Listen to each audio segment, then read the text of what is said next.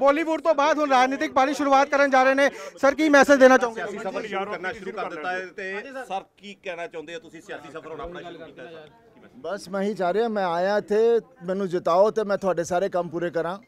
ਮੈਂ ਤੁਹਾਡਾ ਹੀ ਬੇਟਾ ਹਾਂ ਤੁਹਾਡਾ ਹੀ ਭਰਾ ਹਾਂ ਤੇ ਤੁਹਾਡੇ ਨਾਲ ਜੁੜਨ ਆਇਆ ਤੇ ਮੈਂ ਤੁਸੀਂ ਆਲਰੇਡੀ ਮੈਂ ਤੁਹਾਡੇ ਦਿਲਾਂ ਦੇ ਵਿੱਚ ਵਸਿਆ ਹੋਇਆ। ਹੁਣ ਮੈਨੂੰ ਮੌਕਾ ਦਿਓ ਕਿ ਜੋ ਮੈਂ ਤੁਹਾਨੂੰ ਜਿਸ ਕਿ ਮੈਂ ਆ ਕੇ ਇੱਥੇ ਤੁਹਾਨੂੰ ਰੀਪੇ ਕਰਾਂ ਆਪਣੀ ਚੀਜ਼ਾਂ ਕਰਾਂ।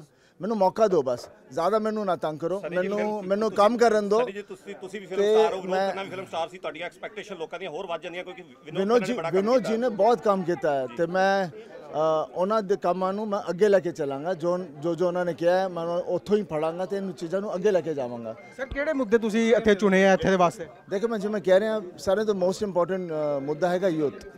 ਯੂਥ ਇਜ਼ ਦ ਉਹ ਸਾਡੀ ਫਾਊਂਡੇਸ਼ਨ ਹੈ ਉਹੀ ਸਾਡੀ ਅੱਜ ਹੈ ਕੱਲ ਹੈ ਪਰਸੋਂ ਹੈ। ਤਾਂ ਮੈਂ ਮੋਸਟਲੀ. ਉਹਦੇ ਉੱਤੇ ਆਪਣਾ ਟਾਈਮ. ਲਗਾਵਾਂਗਾ.